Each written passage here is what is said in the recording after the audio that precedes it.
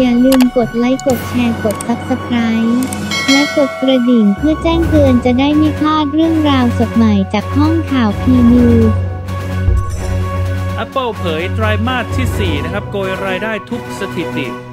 Apple นะครับบริษัทยักษ์ใหญ่ในแวดวงเทคโนโลยีโทรคมนาคมของสหรัฐแถลงเมื่อวันที่ 28 มกราคมที่ผ่านมานะฮะ บริษัททำรายได้ในช่วงไตรมาสที่ 4 หรือช่วง 3 เดือนสุดท้ายของปีที่ผ่านมาได้สูงสุดเป็นประวัติการนะครับ โดยนายทิมคุกประธานเจ้าหน้าที่บริหาร หรือ CEO นะครับเผยว่าบริษัททำรายได้รวมในไตรมาสสุดท้ายของปี ซึ่งสิ้นสุดณวันที่ 28 ธันวาคมได้สูงสุดเท่าที่เคยทำได้ คือ 91,800 ล้านดอลลาร์นะครับ ซึ่งส่งผลให้ผลกำไรในไตรมาสดังกล่าว สูงสุดเป็นประวัติการด้วยเช่นเดียวกันที่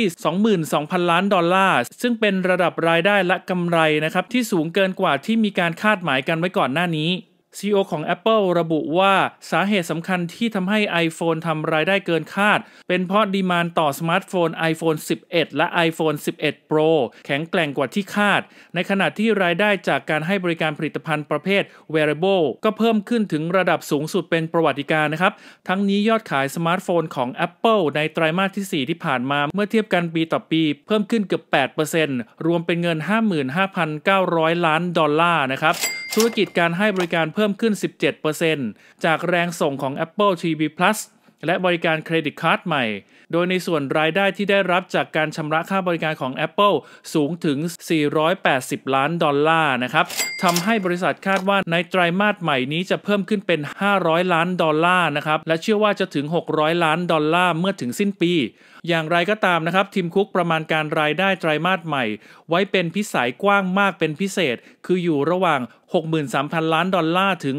67,000 ล้านดอลลาร์นะครับสืบเนื่องจากการระบาดของโคโรนาไวรัส 2019 ในจีน โดยนอกจากจะปิด Apple Store ในอู่ฮั่นไปแล้วนะครับ ก็ยังจะต้องเตรียมการชดเชยการผลิตบางส่วนที่ขาดหายไปในช่วงการระบาด เนื่องจากซัพพลายเออร์หลายรายของ Apple ตั้งอยู่ใกล้เคียงกับเมืองอู่ฮั่นอีกด้วย ขอขอบคุณข้อมูลดีๆจากมัติชนออนไลน์ ฝากพีนิวส์ Facebook Page Twitter ห้องข่าวพีนิวส์ IG พีนิวสเตชันและขอขอบคุณทุกท่านที่ติดตามแล้วเจอกันใหม่ในคลิปหน้า สวัสดีครับ